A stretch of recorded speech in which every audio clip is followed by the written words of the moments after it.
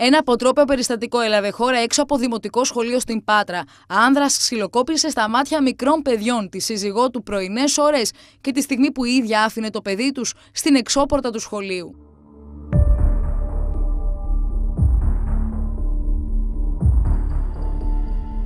Είχε γίνει μια αναφορά, μας είχε ενημερώσει η διευθύντρια του σχολείου. Ε, είχε ενημερώσει τον προϊστάμενο εκπαιδευτικών θεμάτων για το θέμα αυτό ναι, την προηγούμενη εβδομάδα, όπως λέτε. Απλά μας ενημέρωσε ως καταγραφή του περιστατικού, επειδή δεν έγινε μέσα στο σχολείο. Και εμείς επιλαμβανόμαστε και η διευθύντρια του σχολείου για θέματα και ζητήματα που γίνονται μέσα στο σχολικό χώρο.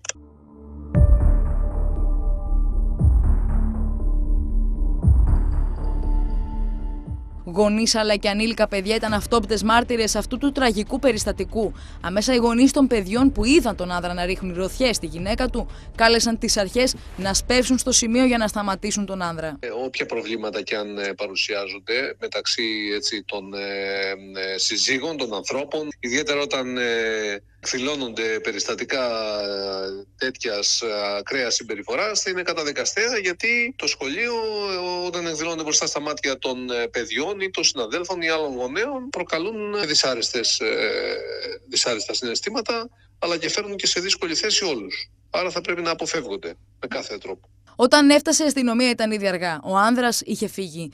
Το θύμα της υπόθεσης νοσηλευόταν σε νοσοκομείο της Πάτρας, ενώ πριν από λίγες ημέρες πήρε εξητήριο. Η γυναίκα κατέθεσε μηνυτήρια αναφορά κατά του άνδρα της για την κόλαση που έζησε.